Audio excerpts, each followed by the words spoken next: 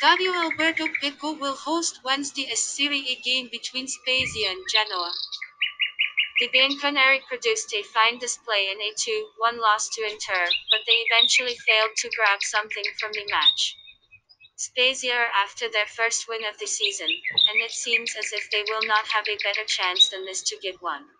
The Rossoblu, on the other hand, are having a season to forget.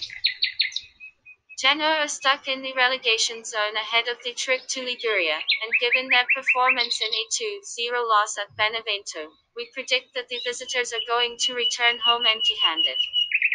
Spezia's injury list is pretty long, with Zoet, Mattiello, Dell'Orco, Berardi, Leo Sena, Capradossi, and Galabinov missing match, but given Genoa's current form, home win should be considered. The likes of Macrati, Barashi, Zapata, Cassata, Pellegrini, and Perugini are out of contention through injuries for the visiting team.